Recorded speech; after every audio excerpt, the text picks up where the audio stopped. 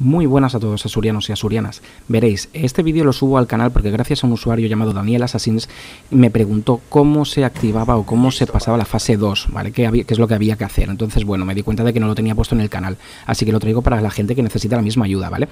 Realmente con Hulk la misión icónica eh, de la fase 2 será cumplir dos objetivos. El primero, bueno, uno de ellos, por decirlo así, se puede hacer en cualquier orden, será eh, hacer 10.000 puntos de daño con la ira activada, es decir, con el botón R2 mientras pegamos...